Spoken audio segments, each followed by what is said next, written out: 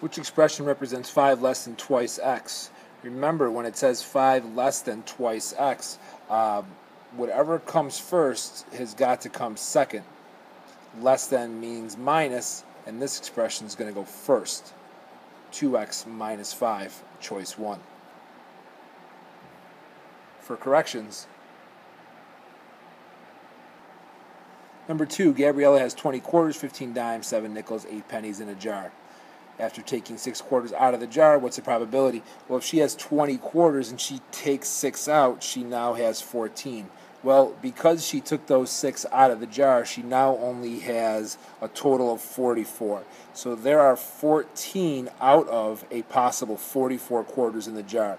Choice number one. For corrections, Number three, based on the line of best fit drawn below, which value could be expected for data in June 2015? So for June 2015, I go up all the way up to the line and over, noticing that it falls below 500.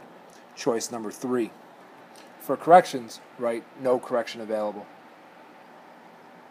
Number four, if the point 5k lies on the line represented by the equation, 2x plus y equals 9, the value of k is. So what I'll do is substitute 5 in for x and k in for y. So my new equation reads 2, 2 times 5 plus k equals 9. 2 times 5 is 10 plus k equals 9. Now we're just solving for k minus 10.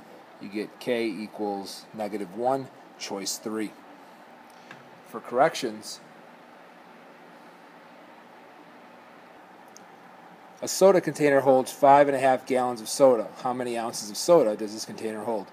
Now, if I were to use dimensional analysis, I would say 5.5 gallons or five and a half gallons. Remember, we're going to multiply by these relationships. Remember, gallon has to go on the bottom because we want these to be able to cancel out. Okay, quart is going to cancel with quart you're only left with ounces, and that's what you're trying to find. So I'll do 5.5 times 4 times 32. I get 704 ounces. Choice number 4. For corrections,